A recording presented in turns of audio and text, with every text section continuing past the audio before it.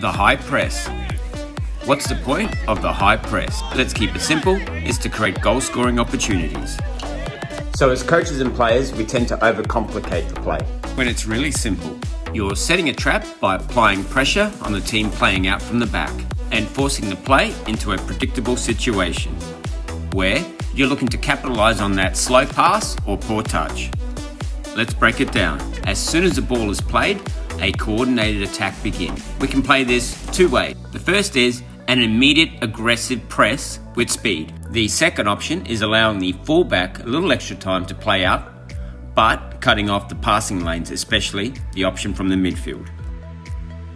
Here we have the left winger make an aggressive run down the line. Just out of the picture is the left midfielder cutting off the diagonal passing lane, while the striker makes an arcing run to allow the pass back to the keeper, setting the trap. The winger capitalizes on the slow pass, applies the pressure, and is rewarded with a lucky bounce, placing the keeper in a 2v1 situation. So let's keep it simple and never give up on the play. Three,